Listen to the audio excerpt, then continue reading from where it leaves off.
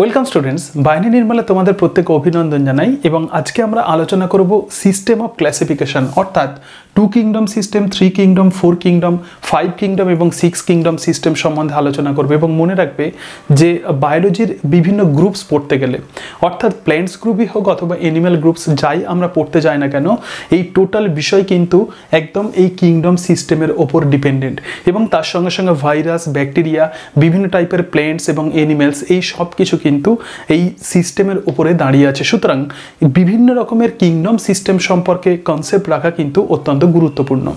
Actually পৃথিবীতে বিভিন্ন রকমের জীব আছে, যেমন ভাইরাস আছে ব্যাকটেরিয়া আছে, বিভিন্ন টাইপের উদ্ভিদ বা প্ল্যান্টস আছে এবং বিভিন্ন টাইপের অ্যানিমালস আছে। এবং সেই কারণের জন্য বিভিন্ন সময়ে, যত সময় গেছে, বিভিন্ন সময়ে সায়েন্টিস্টরা বোঝার সুবিধার জন্য, এই সমস্ত অর্গানিজমসকে স্টাডি করার জন্য তাদেরকে ক্লাসিফিকেশন করার চেষ্টা করেছেন। অ্যাকচুয়ালি ক্লাসিফিকেশন বা শ্রেণীবিন্যাস হলো সেই প্রসেস যে পদ্ধতিতে সিমিলারিটি এবং ডিসিমিলারিটি বা সাদৃশ্য এবং বৈসাদৃশ্যের উপর ভিত্তি করে জীবদেরকে গ্রুপিং করা হয়।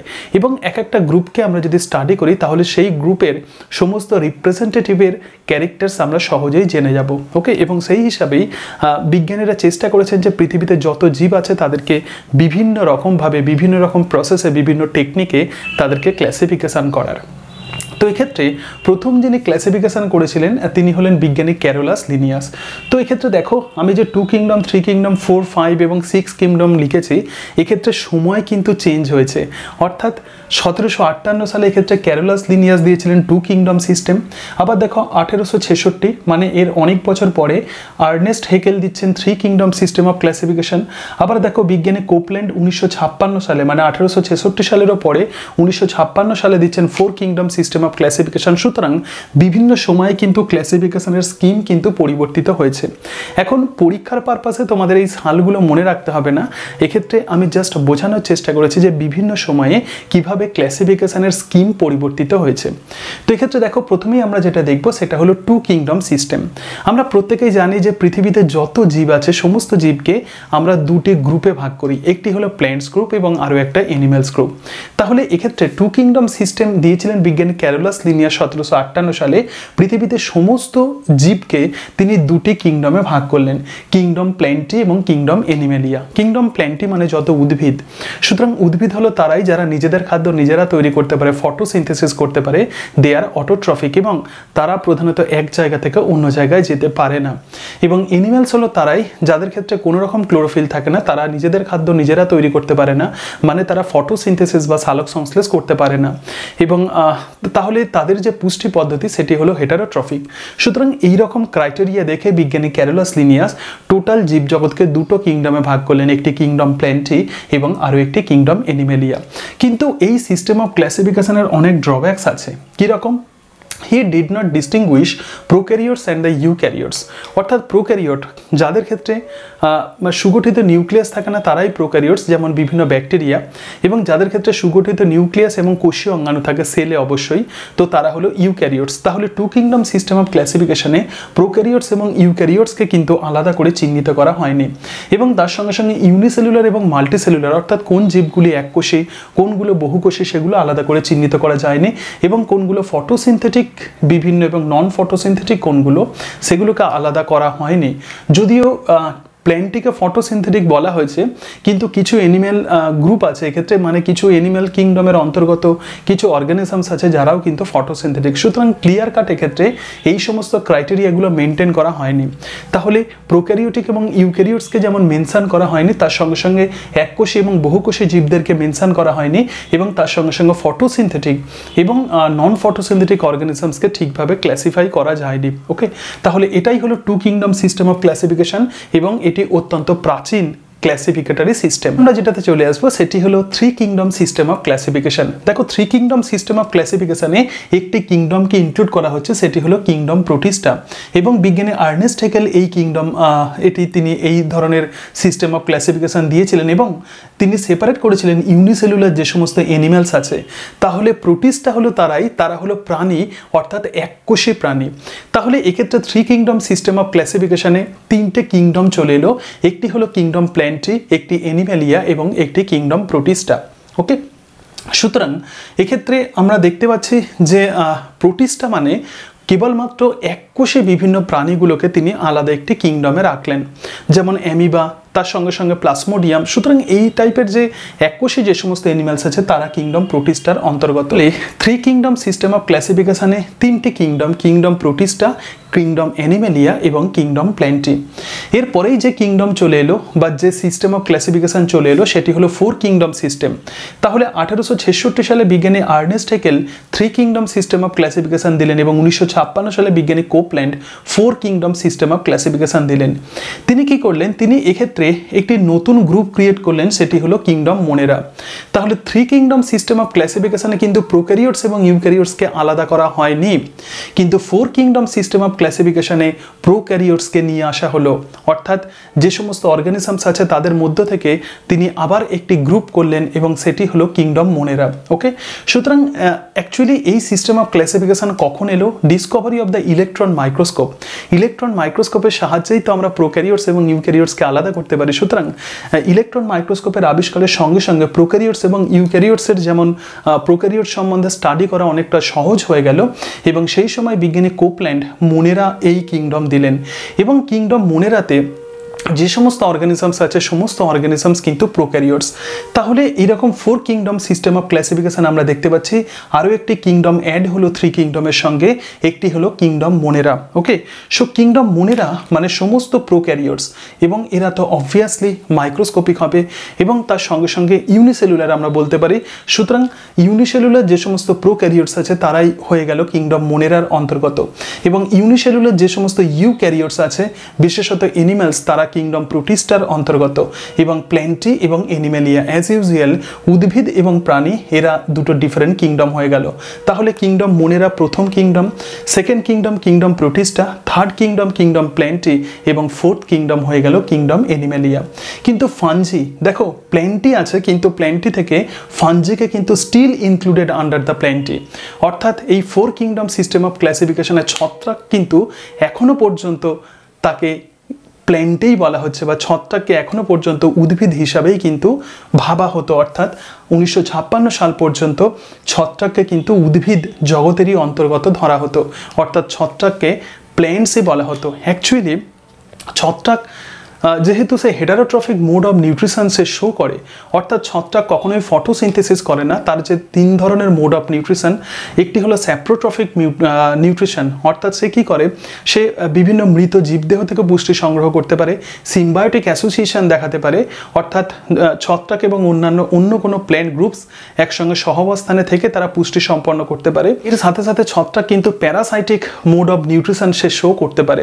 সুতরাং যেহেতু এইরকম স্পেশাল টাইপের নিউট্রিশন ছত্রাক দেখায়, সেই কারণের জন্য ছত্রাক কিন্তু অ্যাকচুয়ালি যেহেতু তার মধ্যে ফটোসিনথেসিস হয় না, সেই জন্য সে কিন্তু প্ল্যান্টস রাজ্যের অন্তর্গত নয়। এবং সেই জন্যই এই মোড অফ নিউট্রিশনের উপর ভিত্তি করে ছত্রাককে একটি আলাদা কিংডম করলেন যে সায়েন্টিস্ট তিনি হলেন আর এইচ উইটেকার ছত্রাককে একটা আলাদা কিংডমে রাখলেন, অর্থাৎ কিংডম প্ল্যান্টটি থেকে ছত্রাককে বের করে নিয়ে এলেন ফাঞ্জিকে বের করে নিয়ে এসে একটি নতুন কিংডমে দিলেন এবং সেই কিংডমটার নাম হলো কিংডম ফাঞ্জি তাহলে এক্ষেত্রে দেখো five kingdom system of classification এবং এই system of classification is very very important তো five kingdom system of classification দিয়েছিলেন American taxonomist R H Whittaker উনিশশো সালে আর এইচ হুইট টেকার প্রথম এই five kingdom system of classification দেন। এবং তিনি সেপারেট করেছিলেন ফানজিকে সেপারেটেড ফ্রম দ্য প্ল্যান্টি অর্থাৎ উদ্ভিদ জগৎ থেকে, সমস্ত প্ল্যান্টস থেকে ফানজিকে তিনি একটা আলাদা কিংডমে রাখলেন। এবং তার ফলে five kingdom system of classification একটি নতুন কিংডম এক্ষেত্রে ইনক্লুড হলো এবং সেই কিংডমটি হলো ফানজি। সুতরাং এখনও পর্যন্ত আমরা যে কিংডম যে পাঁচটি কিংডম আমরা পেলাম, একটি হলো কিংডম মোনেরা সুতরাং সমস্ত ব্যাকটেরিয়া বা প্রোক্যারিওটস কিংডম মোনেরা প্রোটিস্টা অর্থাৎ ইউনিসেলুলার ইউক্যারিওটিক যে সমস্ত অ্যানিমালস তারাই প্রোটিস্টা এবং কিংডম ফানজি কিংডম প্ল্যান্টি এবং কিংডম অ্যানিমেলিয়া সুতরাং মোট পাঁচটি কিংডম এক্ষেত্রে দেওয়া হলো। তাহলে দেখো এক্ষেত্রে দুটি অত্যন্ত গুরুত্বপূর্ণ টার্ম অনেক সময় আমাদের মধ্যে কনফিউশন হয়। তো কিংডম মোনেরা মানে কি? সমস্ত প্রোক্যারিওটস। সো অল প্রোক্যারিওটস, অর্থাৎ যা সমস্ত ব্যাকটেরিয়া, তারাই কিন্তু কিংডম মোনেরার অন্তর্গত। এবং প্রোটিস্টা মানে কি? ইউনিসেলুলার ইউক্যারিওটস অর্থাৎ এক এককোষী যত ইউক্যারিওটিক অ্যানিমালস আছে, তারা সবাই কিন্তু কিংডম প্রোটিস্টার অন্তর্গত। এবং তার সঙ্গে সঙ্গে কিংডম ফানজি যেটা বলছিলাম, তাদের তিনটি ডিফারেন্ট মোড অফ নিউট্রিশন থাকবে। অর্থাৎ তারা heterotrophic mode of nutrition show করে, তাদের ক্ষেত্রে যেহেতু কোনো রকম ক্লোরোফিল থাকে না, সেই জন্য তারা ফটোসিনথেসিস করে না, তাদের স্যাপ্রোট্রফিক মোড অফ নিউট্রিশন হবে, তার সঙ্গে সঙ্গে সিম্বায়োটিক মোড অফ নিউট্রিশন হবে এবং তার সাথে সাথে তাদের প্যারাসাইটিক মোড অফ নিউট্রিশন দেখায় ওকে এবং এর সাথে সাথে ফাঞ্জির যে সেল ওয়ালের যে মেটেরিয়াল সেটি কিন্তু কাইটিন অর্থাৎ অন্যান্য প্ল্যান্টসের যে সেল ওয়াল মেটেরিয়াল বা কোষ প্রাচীরের অত্যন্ত গুরুত্বপূর্ণ উপাদান সেটি সেলুলোজ কিন্তু ফাঞ্জির ক্ষেত্রে সেটি কিন্তু কাইটিন এবং তার সঙ্গে সঙ্গে ফাঞ্জির যে স্ট্রাকচার অর্থাৎ এই প্ল্যান্ট বডির যে স্ট্রাকচার সেটাও কিন্তু ডিফারেন্ট এক্ষেত্রে মাইসিলিয়াম হাইফা ইত্যাদি স্পেশাল টাইপের স্ট্রাকচার থাকে, যেগুলো ইউনিক অন্যান্য প্ল্যান্টসের থেকে যে সমস্ত স্ট্রাকচার ইউনিক এবং সেই জন্যই কিংডম ফাঞ্জি একটি আলাদা রাজ্যের অন্তর্গত হয়ে গেল ওকে কিন্তু five kingdom system of classification অনেক বেশি আধুনিক হলেও এই ফাইভ কিংডম সিস্টেম অফ ক্লাসিফিকেশনের কিছু ড্রব্যাকস আছে। একটু দেখে নাও। Monera and the protista includes photosynthetic and the non photosynthetic walled and the wall-less organisms অর্থাৎ এই মনের এবং প্রোটিস্টার মধ্যেই কিন্তু বিভিন্ন ফটোসিনথেটিক নন ফটোসিনথেটিক অর্গানিজমস থাকতে পারে। কোষ প্রাচীরযুক্ত কোষ প্রাচীরবিহীন অর্গানিজমস থাকতে পারে। সুতরাং এক্ষেত্রে এরকমভাবে ফাইভ কিংডম সিস্টেম অফ ক্লাসিফিকেশানে ফটোসিনথেটিক নন ফটোসিনথেটিক এবং ওয়ার্ল্ড এবং ওয়ার্ল্ডলেস অর্গানিজমসকে সেপারেট করে দেখার চেষ্টা করা হয়নি। এবং তার সঙ্গে সঙ্গে phylogenetic relationship is not reflected অর্থাৎ এই ধরনের ক্লাসিফিকেশনে যে ইভলিউশনারি যে রিলেশনশিপ বিবর্তনগত সম্পর্ক, এই রিলেশনশিপে পাওয়া যায় না। এবং তার সঙ্গে সঙ্গে এই ধরনের ক্লাসিফিকেশনের মেন ফিচার্স কিন্তু নিউট্রিশন অনেক সময় পরীক্ষাতে কোয়েশ্চেন্স দেয় যে five kingdom system of classification generally কিসের বেসিসে করা হয়? সেটি নিউট্রিশন এর উপর ভিত্তি করে করা হয় এবং তার সাথে সাথে cell structure range of thallus structure reproduction ইত্যাদির উপর বেশ করে করা হয়। তবে নিউট্রিশন ইজ ভেরি ইম্পর্টেন্ট এবং এই ফাইভ কিংডম সিস্টেম অফ ক্লাসিফিকেশনের আরও অন্যতম গুরুত্বপূর্ণ যে ড্রব্যাক সেটি হলো virus is not placed in any group সুতরাং ভাইরাসকে কিন্তু কোনো গ্রুপে প্লেসড করা হয়নি।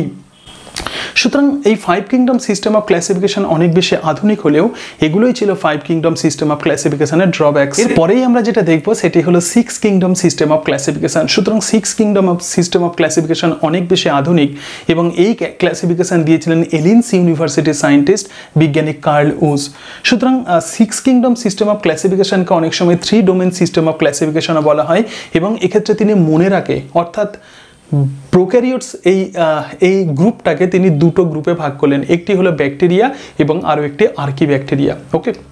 এবং তার ফলে মুনিরের সঙ্গে যদি অ্যাডিশনাল একটি গ্রুপ যদি যুক্ত হয়ে যায়, তাহলে কিন্তু ফাইভ কিংডম এর সঙ্গে আরও একটি এক্সট্রা কিংডম যোগ হয়ে যাবে। বিষয়টা একটু লেখা দেখলেই তোমরা বুঝতে পারবে, একটু দেখে নাও। তাহলে বিজ্ঞানী কার্লুস উনিশশো নব্বই সালে three domain system of classification দিলেন। এক্ষেত্রে তিনি তিনটি ডোমেনের কথা বললেন, একটি আর্কিয়া একটি ব্যাকটেরিয়া এবং আরও একটি ইউক্যারিয়া সুতরাং অ্যাকচুয়ালি এই ধরনের ক্লাসিফিকেশনের অন্যতম যে বৈশিষ্ট্য প্রোক্যারিওটস এবং ইউক্যারিওটস, এই দুটো গ্রুপে আমরা ভাগ করে দিলাম টোটাল অর্গানিজমস মানে যত পৃথিবীতে যত জীব আছে, তাদেরকে দুটো ব্রড গ্রুপে ভাগ করে দাও। একটি হলো প্রোক্যারিওটস এবং আরও একটা ইউক্যারিওটস। এবং প্রোক্যারিওটসকে আবার দুটো গ্রুপে ভাগ করে দাও। একটি হলো একটি হলো আর্কি ব্যাকটেরিয়া এবং আরও একটি হলো ইউক্যারিয়া ওকে সুতরাং বা আর্কিয়া এবং ব্যাকটেরিয়া, তাহলে এবং তার সঙ্গে সঙ্গে ইউক্যারিয়া। সুতরাং সমস্ত ইউক্যারিওটস একটি গ্রুপে চলে গেল এবং প্রোক্যারিওট যারা, তারা দুটো গ্রুপে চলে এলো, একটি আর্কিয়া এবং আরও একটি ব্যাকটেরিয়া সুতরাং এক্ষেত্রে তিনটে ডোমেন অর্থাৎ কিংডমের থেকেও বড় যে ট্যাক্সোনমিক হায়ারার্কিয়াল যে র্যাঙ্ক তাকেই আমরা বলব ডোমেন তাহলে যদি এরকম কোনো সিকোয়েন্স দেয় যে ডোমেন কিংডম ফাইলাম ইত্যাদি এরকম অনেক সময় সিকোয়েন্স দিয়ে কোয়েশ্চেন্স দেয়, সুতরাং প্রথমে হবে ডোমেন এবং তারপরে কিংডম এটা মাথায় রাখবে ওকে তাহলে থ্রি ডোমেন সিস্টেম অফ ক্লাসিফিকেশনে তিনটি ডোমেন এলো, একটি আর্কিয়া একটি ব্যাকটেরিয়া এবং আরও একটি ইউক্যারিয়া এবং এক্ষেত্রে এই থ্রি ডোমেন সিস্টেম অফ ক্লাসিফিকেশনকে আমরা actually six kingdom system of classification বলতে পারি, কেন একটু দেখে নাও। তাহলে এক্ষেত্রে যে তিনটি ডোমেন যে পাওয়া গেল, এই তিনটি ডোমেন হলো ডোমেন আর্কিয়া ডোমেন ব্যাকটেরিয়া এবং ডোমেন ইউক্যারিয়া এক্ষেত্রে এই টার্মগুলো একটু মাথায় রাখবে, অনেক সময় আমাদের মধ্যে কনফিউশন হয়। সুতরাং তিনটি ডোমেন হলো, প্রথম ডোমেন হচ্ছে আর্কিয়া সেকেন্ড যে ডোমেন সেটি হলো ব্যাকটেরিয়া এবং থার্ড যে ডোমেন সেটি হলো ইউক্যারিয়া এবং ডোমেন আর্কিয়ার আন্ডারে একটি সিঙ্গেল কিংডম আছে, সেটি হলো আর্কি ব্যাকটেরিয়া তাহলে আর্কিয়া হলো ডোমেন এবং আর্কি ব্যাকটেরিয়া, এটি কিন্তু কিংডম। অনেক সময় আমাদের কনফিউশন হয়। আমরা ভাবি যে আর্কি এবং আর্কি ব্যাকটেরিয়া দুটো মনে হয় একই সিনোনিমাস অ্যাকচুয়ালি ডোমেন হলো আর্কিয়া এবং কিংডম হলো আর্কি ব্যাকটেরিয়া। তো আর্কি ব্যাকটেরিয়া কারা? যেগুলো লো ব্যাকটেরিয়া মানে লোয়ার ব্যাকটেরিয়া, যারা খুব এক্সট্রিম কন্ডিশনে যারা হার্স কন্ডিশনে যারা অবস্থান করে, তো তারাই হলো আর্কি ব্যাকটেরিয়া। এবং ডোমেন যে ব্যাকটেরিয়া, তার আন্ডারে একটাই কিংডম আছে, সেটি হলো কিংডম ইউ ব্যাকটেরিয়া। সুতরাং সিক্স কিংডম সিস্টেম অফ ক্লাসিফিকেশনের আমরা প্রথম দুটো কিংডম পেয়ে গেলাম।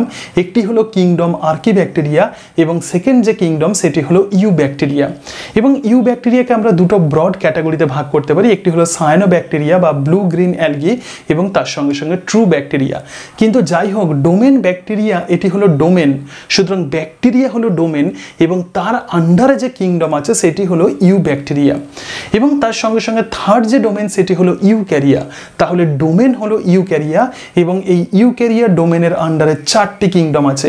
কিংডম প্রোটিস্টা মানে ইউনিসেলুলার যে সমস্ত এনিম্যালস এককোষী animals kingdom Protista kingdom Fungi অর্থাৎ বিভিন্ন ছত্রাক, যাদের সেল ওয়ালে কাইটিন থাকবে হেটারোট্রফিক মোড অফ নিউট্রিশন দেখাবে এবং কিংডম প্ল্যান্টি সমস্ত উদ্ভিদ যাদের সেল ওয়ালে সেলুলোজ থাকে এবং যারা, যাদের অটোট্রফিক মোড অফ নিউট্রিশন দেখা যায় এবং কিংডম এনিমেলিয়া অর্থাৎ সমস্ত এনিম্যালস তাহলে এক্ষেত্রে আমরা ছটি কিংডম পেলাম। একটি হলো কিংডম আর্কি ব্যাকটেরিয়া নেক্সট যেটা সেটি হলো কিংডম ইউ ব্যাকটেরিয়া তারপরে kingdom protista, kingdom fungi kingdom plantae এবং kingdom animalia one, two, three, four, five and six. সুতরাং এটাই actually three domain system of classification বা একেই আমরা বলব six kingdom system of classification. Okay?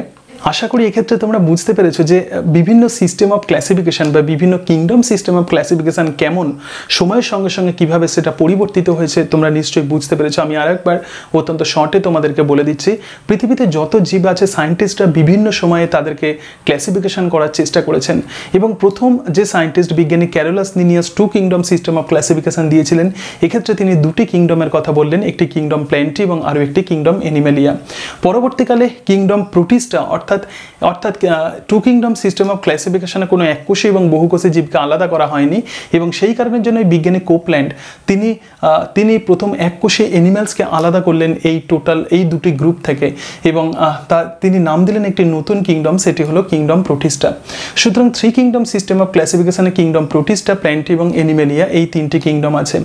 এরপরে যেটি হলো, সেটি হলো four kingdom system of classification তাহলে থ্রি কিংডম সিস্টেম অফ ক্লাসিফিকেশনে কোনো প্রোক্যারিওটস এবং ইউক্যারিওটসকে আলাদা করা হয়নি। কিন্তু four kingdom system of pro প্রোক্যারিওটসকে আলাদা করা হলো এই তিনটি কিংডম থেকে ওকে এবং একটি নতুন কিংডম দেওয়া হলো, সেটি হলো কিংডম মোনেরা। এটি দিয়েছিলেন বিজ্ঞানী কোপল্যান্ড। এরপরেই যেটা এলো, সেটি হলো five kingdom system of classification যেটি দিয়েছিলেন বিজ্ঞানী আর এইচ হুইটেকার এক্ষেত্রে তিনি প্ল্যান্টি থেকে বা উদ্ভিদ রাজ্য থেকে তিনি ফাঞ্জিকে সেপারেট করে একটা নতুন কিংডম দিলেন। সুতরাং এক্ষেত্রে kingdom Monera Protista Fungi Plantae এবং এনিমেলিয়া মোট এই পাঁচটি কিংডমের কথা তিনি বললেন এবং এটি five kingdom system of classification নামেই এটি ওয়ার্ল্ড ফেমাস বা বিশ্ববিখ্যাত ওকে এর সঙ্গে সঙ্গে বিজ্ঞানী কার্ল ওস দিলেন three domain system of classification অর্থাৎ তিনি প্রোক্যারিয়ার্সকে তিনি দুটি ডোমেনে ভাগ করলেন। একটি হলো আর্কিয়া এবং আরও একটি হলো ব্যাকটেরিয়া। সুতরাং থ্রি ডোমেন সিস্টেম অফ ক্লাসিফিকেশনে তিনটি ডোমেন থাকবে আর্কিয়া ব্যাকটেরিয়া এবং ইউক্যারিয়া এবং এই প্রত্যেকটি ডোমেনের আন্ডারে আবার কিংডম থাকবে। যেমন ডোমেন আর্কিয়ার আন্ডারে একটি কিংডম সেটি হলো আর্কি ব্যাকটেরিয়া এবং ডোমেন ব্যাকটেরিয়ার আন্ডারে একটি কিংডম সেটি হলো ইউ ব্যাকটেরিয়া এবং ডোমেন ইউক্যারিয়ার আন্ডারে চারটি kingdom kingdom Protista Fungi Plantae এবং অ্যানিমেলিয়া সুতরাং এটাই হলো অ্যাকচুয়ালি ইভলিউশনারি সিস্টেম বা ক্লাসিফিকেটারি সিস্টেম তার সঙ্গে সঙ্গে আরও একটি অত্যন্ত গুরুত্বপূর্ণ কথা বলব, সেটি হলো বিজ্ঞানী কার্ল উজ যে এই যে three domain system of classification দিয়েছিলেন, তিনি যার উপর ভিত্তি করে এটা দিয়েছিলেন, সেটি হলো R R N A ribosomal R N তার ক্লাসিফিকেশানের মানে আর আর এন উপর বেশ করে তিনি এই ধরনের ক্লাসিফিকেশান দেন। তাহলে five kingdom system of classification mainly করা হয়েছিল নিউট্রিশনের ওপর ভিত্তি করে, কিন্তু three domain system of classification mainly করা হয়েছিল আর আর এন উপর ভিত্তি করে ওকে আজকে তাহলে এই পর্যন্তই, এবং পরের দিন আমি এই তিনটি ডোমেনের পার্থক্য নিয়ে আলোচনা করব, অর্থাৎ ডোমেন আর্কিয়া, ডোমেন ব্যাকটেরিয়া এবং ডোমেন ইউক্যারিয়া, এই তিনটের পার্থক্য নিয়ে আলোচনা করবে, এবং এগুলো কিন্তু পরীক্ষাতে অত্যন্ত অত্যন্ত গুরুত্বপূর্ণ। So thank you and that's it